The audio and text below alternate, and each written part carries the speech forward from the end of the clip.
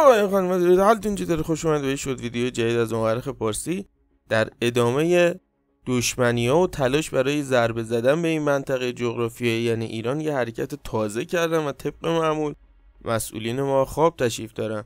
ویدیو رو نمی‌خوام طولانی کنم سریع بریم ببینیم که داستان چیه. وارد گوگل که میشید و گوگل مپ رو سرچ می‌کنید میایید سمت آسیا و ایران. از فاصله زیاد که نگاه بکنیم درسته ولی وقتی یکم زوم کنید پایین Persian Gulf داخل پرانتز Arabian Gulf هم اضافه شده و قدم های جدی دارن برمیدارن واسه جایگزین کردن این اسم به جای اسم واقعیش یعنی خلیج فارس.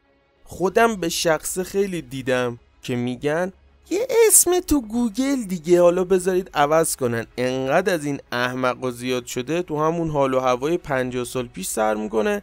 درک نداره که سیستم دنیا عوض شده. خب گوساله. اگه یه اسمیه که مهم نیست اصلا چرا باید همچین چیزی به ذهنشون برسه که بخوان انجام بدن؟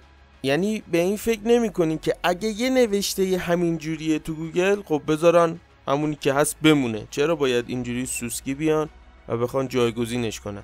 اینجور چیزا رو اصلا نباید با مسائل دیگه قاطی کرد. مثلا تو پیج اصلی اینستامون حالا پستی در مورد خلیج فارس کار می‌کنیم یا همین صحبت های اخیر ابی تو کامنت ها می‌بینم که یه سری میگن خب خلیج فارس فقط اسمش واسه ما مونده بذارید اینم بگیرن.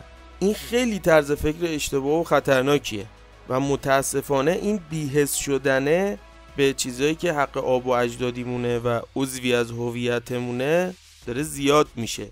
از زمانی که نوشتن تاریخ شروع شده و مکتوب ثبت شده این خلیج پارس بوده و هست و میمونه و اینم بگم که این Persian و Persian برمیگرده به اسم ایران و ربطی به قوم پارس نداره.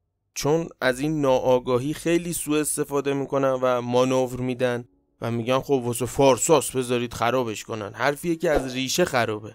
هم کلا اسم Persian مربوط به قومیت نیست بیشتر قدیمی ها و سمبوله های غربی و اروپایی اونایی که حالا تو کار تاریخ و سیاست و این چیزا هستن وقتی تو حرفشون به ایران می‌رسن هنوز از اسم Persian استفاده می‌کنن. و از طرف دیگه اگرم یه موردی باشه که مختص یه قوم باشه خلیج فارس رو نمیگم. کلا اگه هر زمانی یه مشکلی پیش بیاد مثلا بگم بخشی از فرهنگ کوردا در خطره.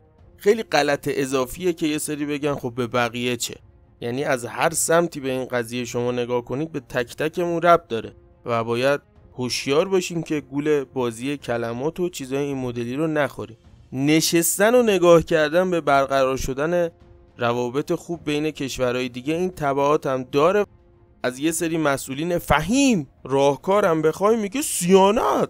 اگه اینترنت سیانت شده بود الان شما این خبر رو نمیفهمیدید هرسم نمیخوردید.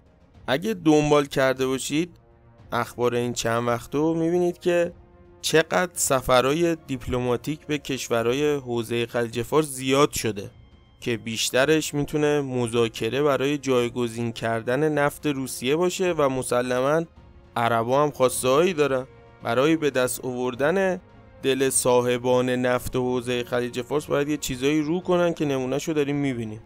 چند ماه پیش هم خبر همکاری عربستان با شبکه قدرتمند فیلمسازی HBO اومد که می‌خوان نبرد زقا رو بسازن نبردی که ایرانیا از عرب شکست خوردن و ما هنوز فکر تکرار هزارم مختاریم.